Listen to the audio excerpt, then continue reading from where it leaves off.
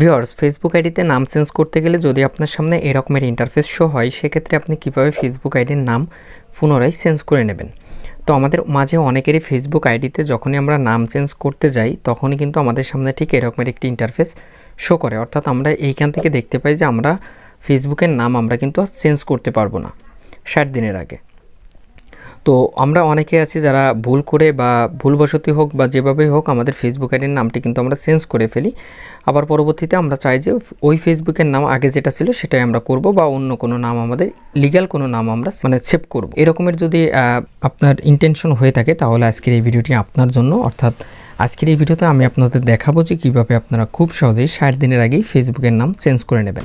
Welcome back viewers তো viewers আমরা যখনই ফেসবুক আইডিটি লগ ইন করি, অর্থাৎ যে ফেসবুক আইডির নামটি আমরা চেঞ্জ করতে যাচ্ছি আই ফেসবুক আইডিটি যখন আমরা লগ ইন করে এই পার্সোনাল অ্যান্ড অ্যাকাউন্ট ইনফরমেশনে আসি, অর্থাৎ নাম চেঞ্জের মেইন ইন্টারফেসে আসি, তখনই কিন্তু আমাদের সামনে এইরকমের একটি ইন্টারফেস আসে মানে ষাট দিনের আগে আপনি ফেসবুকের নাম চেঞ্জ করতে পারবেন না।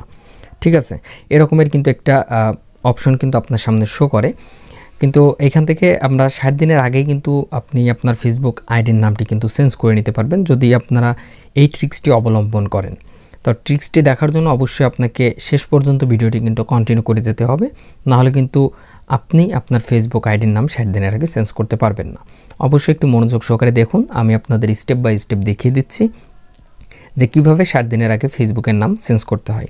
তো অ্যাট ফার্স্ট আমাদের যে কাজটি করতে হবে, আমরা এই নাম চেঞ্জের মেইন ইন্টারফেসে চলে আসব।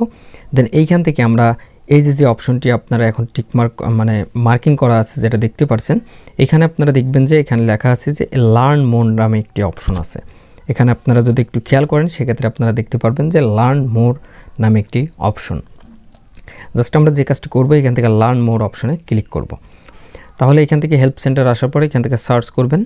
যে sense my Facebook name. Just আপনারা লিখবেন যে sense my Facebook ID name.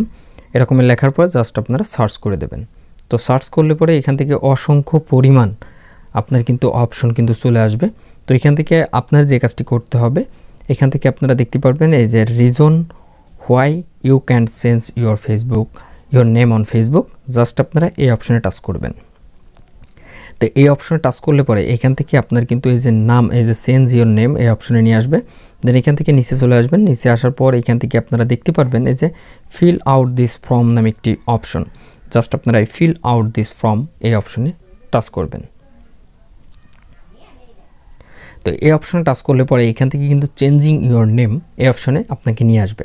তো এখান থেকে আগে থেকে আমি বলে রাখি আপনাদের, এখান থেকে আপনারা যে নামটি দিবেন মানে ফার্স্ট নেম মিডিল নেম এবং লাস্ট নেম অবশ্যই আপনার কিন্তু লিগাল নামটি হওয়া লাগবে, অর্থাৎ ভোটার আইডি কার্ড অনুসারে আপনার কিন্তু নামটি দিতে হবে।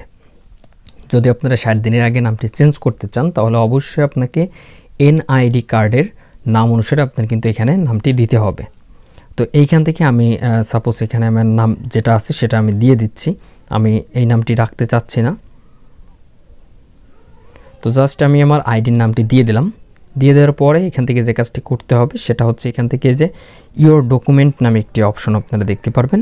তো এইখান থেকে আপনার ভোটার আইডি কার্ডের তো এইখান থেকে আপনার ভোটার আইডি কার্ডের ফ্রন্ট পেজ যেটা আছে, সেটা জাস্ট আপনারা একটা ছবি তুলবেন। ছবি তোলার পরে এখানে জাস্ট আপলোড করে দেবেন। তো এখান থেকে আমি আপলোড দিয়ে স্ক্রিনে আবারও ফিরে আসছি। তো আইডি কার্ডের ফ্রন্ট পেজটি এখানে দেওয়ার পর, অর্থাৎ এই যে ইওর ডকুমেন্ট এখানে দেওয়ার পর আপনাদের যে কাজটি করতে হবে, অবশ্যই আপনারা কিন্তু ভোটার আইডি কার্ডের নাম অনুসারে আপনারা কিন্তু ফার্স্ট নেম এবং লাস্ট নেম আপনারা কিন্তু এখানে প্রোভাইড করবেন, ঠিক আছে? যদি আপনারা ভোটার আইডি কার্ড নাম অনুসারে আপনারা যদি এই কাজটি না করেন, অর্থাৎ মনে করেন এখানে আপনি নাম দিচ্ছেন অন্যটা, এখানে ভোটার আইডি কার্ডটি আপনি সাবমিট করার পর, এখান থেকে কিন্তু আপনার যে অ্যাকাউন্টটি আছে অ্যাকাউন্টটি কিন্তু আপনার সাসপেন্ডেড করে দেবে। মানে এখানে আপনার নাম আলাদা এবং আপনার ভোটার আইডি কার্ডে যদি নাম আলাদা হয়, সেক্ষেত্রে আপনার আইডিটি কিন্তু সাসপেন্ড হয়ে যেতে পারে। এজন্য অবশ্যই আপনারা একটু খেয়াল রাখবেন, আপনাদের ফার্স্ট নেম এবং লাস্ট নেম যেটা দেবেন, ভোটার আইডি কার্ডের নাম অনুসারে যেন সেম থাকে। ওকে তারপরে এখান থেকে এই যে কন্ট্যাক্ট ইমেইল অ্যাড্রেস এখান থেকে অবশ্যই আপনাকে একটি ভ্যালিড কন্ট্যাক্ট ইমেইল অ্যাড্রেস এখানে প্রোভাইড করতে হবে। তো এখান থেকে আমি একটি ইমেইল অ্যাড্রেস এখানে প্রোভাইড করে দিলাম।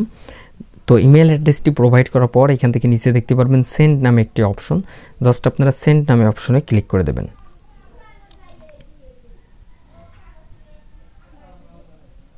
তো সেন্ড নামে অপশনে ক্লিক করার পর আপনাকে কিন্তু আবারও এই হেল্প সেন্টারে নিয়ে আসবে। তো এখন কথা হচ্ছে যে আপনার আইডির নামটি কীভাবে চেঞ্জ করবেন বা কখন চেঞ্জ হবে সেটা আপনি কীভাবে বুঝবেন। তো আপনি যে ইমেল অ্যাড্রেসটি দিয়েছেন সেই ইমেল অ্যাড্রেসে আপনাকে কিন্তু ফেসবুক টিম অটোমেটিক্যালি আপনাকে কিন্তু একটি মেসেজ তারা সেন্ড করে দেবে। এবং তারা ওখানে বলে দেবে যে আপনার ফেসবুক আইডির নামটি চেঞ্জ হবে কি না আর যদি আপনার সমস্ত ইনফরমেশন যদি ঠিক থাকে, সেক্ষেত্রে কিন্তু আপনারা মাত্র চব্বিশ ঘণ্টা বা আটচল্লিশ ঘণ্টার ভিতরে কিন্তু আপনার ফেসবুক আইডির নামটি কিন্তু চেঞ্জ হয়ে যাবে। যদি আপনি লিগাল ডকুমেন্ট ফেসবুকের কাছে সাবমিট করেন। তো এই ছিল ভিডিওটি। ভিডিওটি ভালো লাগলে অবশ্যই লাইক কমেন্ট শেয়ার করবেন। আর যদি কোনো প্রবলেম ফেস করেন, তাহলে অবশ্যই আপনারা আমার ফেসবুক গ্রুপে জয়েন হতে পারেন।